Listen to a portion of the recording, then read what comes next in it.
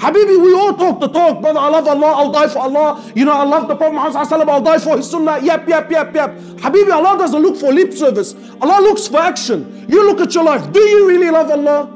Do you really love Salah? Do you really love the masjid? How do you know? Look at your relationship with it.